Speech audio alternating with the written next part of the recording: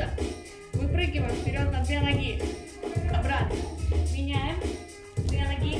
Обратно. Меняем. И делаем быстро.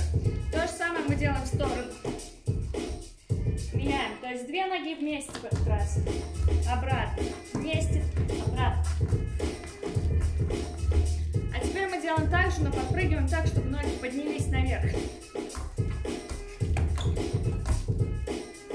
движения несложные, попробуйте.